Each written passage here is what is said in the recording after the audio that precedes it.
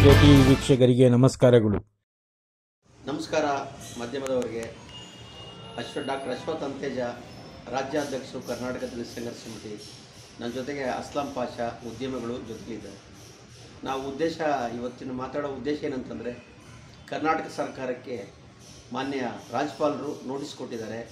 ಇದು ಅಸಂವಿಧಾನಿಕ ಮತ್ತು ಪ್ರಜಾಪ್ರಭುತ್ವ ವಿರೋಧಿ ಕೃತ್ಯ ಆಗಿದೆ.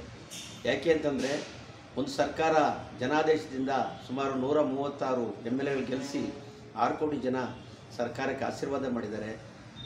ಸಿದ್ದರಾಮಯ್ಯನವ್ರ ಮೇಲೆ ಯಾವುದೋ ಮೂಢ ಹಗರಣದಲ್ಲಿ ಅವರು ಮೂಢ ಫಲಾನುಭವಿ ಅಲ್ಲ, ನಿವೇಶನ ಫಲಾನುಭವಿ ಅಲ್ಲ, ಅವರ ಪತ್ನಿ ಮತ್ತು ಅವರ ಪತ್ನಿಯವರ ಅಣ್ಣ ಸಂಬಂಧಪಟ್ಟ ವಿಚಾರ.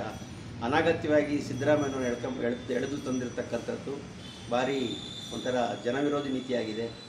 ಈ ವಿಚಾರದಲ್ಲಿ ಮಾನ್ಯ ರಾಷ್ಟ್ರಪತಿಯವರು ರಾಷ್ಟ್ರಕ್ಕೆ ಸಂವಿಧಾನ ಪೀಠದ ಮುಖ್ಯಸ್ಥರು ರಾಜ್ಯಕ್ಕೆ ರಾಜ್ಯಪಾಲರು ಸಂವಿಧಾನ ಪೀಠದ ಮುಖ್ಯಸ್ಥರು ಆದ್ದರಿಂದ ರಾಜ್ಯಪಾಲರು ಈ ಕೂಡಲೇ ಒಬ್ಬ ಖಾಸಗಿ ವ್ಯಕ್ತಿಯ ದೂರಿನ ಆಧಾರದಲ್ಲಿ ಪ್ರಾಸಿಕ್ಯೂಷನ್ ನೋಟಿಸ್ ಕೊಡ್ತಕ್ಕಂಥದ್ದು ಭಾರಿ ಅಸಂವಿಧಾನಿಕ ಅನ್ನೋದು ಕೂಡ ದಲಿತ ಸಂಘರ್ಷ ಸಮಿತಿ ಸ್ಪಷ್ಟಪಡಿಸ್ತದೆ. ಮತ್ತು ರಾಜ್ಯಪಾಲರಲ್ಲೂ ಕೂಡ ನಾವು ಮನವಿ ಮಾಡ್ತೇವೆ. ತಾವು ಮೊದಲು ಮತ್ತೆ ಪರಿಶೀಲನೆ ಮಾಡಿ, ಆ ನೋಟಿಸನ್ನು ವಾಪಸ್ ಪಡಿಬೇಕು. ಈ ವಿಚಾರದಲ್ಲಿ ಜುಲೈ ಹದಿನೈದನೇ ತಾರೀಕು ಸರ್ಕಾರ, ಕರ್ನಾಟಕ ಸರ್ಕಾರ ಜುಡಿಷಿಯಲ್ ಎನ್ಕ್ವೈರಿ ಮಾಡಿದೆ, ನೇಮ ಆಯೋಗ ನೇಮಕ ಮಾಡಿದೆ. ಅದರ ಜೊತೆಗೆ ಹದಿನೆಂಟನೇ ತಾರೀಕು ಖಾಸಗಿ ವ್ಯಕ್ತಿಯವರು ಲೋಕಾಯುಕ್ತ ದೂರು ಕೊಟ್ಟಿದ್ದಾರೆ. ಮತ್ತು ಇಪ್ಪತ್ತಾರನೇ ತಾರೀಕು, ಜುಲೈ ಇಪ್ಪತ್ತಾರನೇ ತಾರೀಕು ಕರ್ನಾಟಕ ಸರ್ಕಾರದ ಮುಖ್ಯ ಕಾರ್ಯದರ್ಶಿಗಳು ಕೂಡ ಲಿಖಿತವಾಗಿ ಮೂಢ ಹಗರಣದ ವಿಚಾರದಲ್ಲಿ ದೂರನ್ನು ಕೊಟ್ಟಿದ್ದಾರೆ. ಮುಖ್ಯಮಂತ್ರಿಗಳು ಕೂಡ ಸ ಸ್ಪಷ್ಟನೆ ಕೊಟ್ಟಿದ್ದಾರೆ.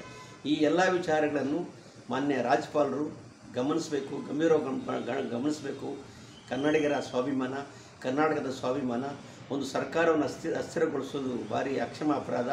ಈ ವಿಚಾರದಲ್ಲಿ ಕೇಂದ್ರ ಸರ್ಕಾರ ಅನಾಗತ್ಯವಾಗಿ ಕಾಂಗ್ ಬಿ ಜೆ ಪಿ ಸರ್ಕಾರಗಳನ್ನು ದಮನ ಮಾಡಲಿಕ್ಕೆ ಇ ಡಿಯನ್ನು ಬಳಸ್ಕೊಂಡಿದೆ, ಸಿ ಬಿ ಎನ್ ಬಳಸ್ಕೊಂಡಿದೆ, ಈಗ ರಾಜಭವನವನ್ನು ಬಳಸ್ಕೊಂಡಿದೆ. ರಾಜಭವನ ರಾಜಕೀಯ ಭವನ ಆಗೋದು ಬೇಡ. ರಾಜಭವನ ರಾಜಭವನ ಉಳಿಬೇಕು.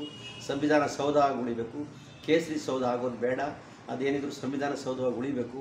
ಈ ಕಾರಣಕ್ಕಾಗಿ ನೋಟಿಸನ್ನು ವಾಪಸ್ ತಗೊಳ್ಬೇಕು. ನಾವು ಕೂಡ ಒಂದು ವಾರ ಕಾಯ್ತೇವೆ.